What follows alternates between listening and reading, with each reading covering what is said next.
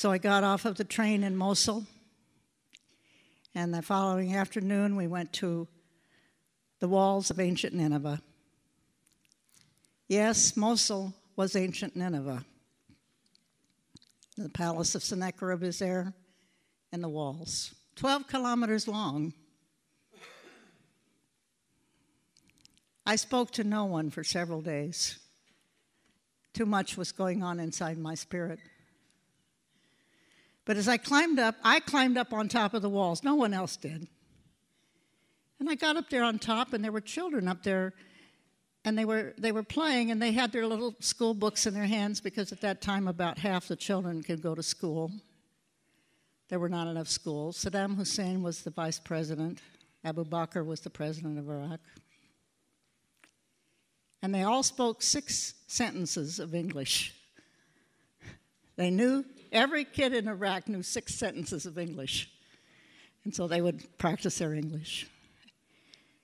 As I'm looking out over those walls of ancient Nineveh, 12 kilometers long, the Lord spoke to me. He interrupted my entire inner person. He interrupted my brain. And he said these words Do you see these children? And I said, Yes, Lord. And he said, Well, here are the children where are the teachers?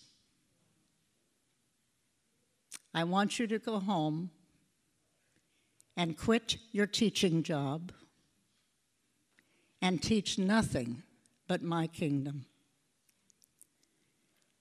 I said, My husband will never agree. He said, I will take care of that. I said, All right, I will do it. You see his picture in front of me tonight. A couple of days later, I was at Erbil, which is a little north of Nineveh, and uh, it's continuously inhabited city for seven, eight thousand years. And there was a pile of rubble, and they were tearing down some buildings on top. And I was walking in the streets, and uh, I saw a little child, about three and a half, about Robbie's age. She had a little sack in her hand. And the Lord spoke to me a second time and He said, Do you see this child? And I said, Yes, Lord. And He said, When I look at the world, this is what I see.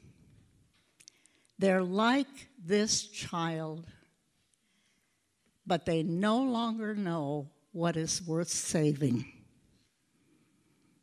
In all of the debris of history,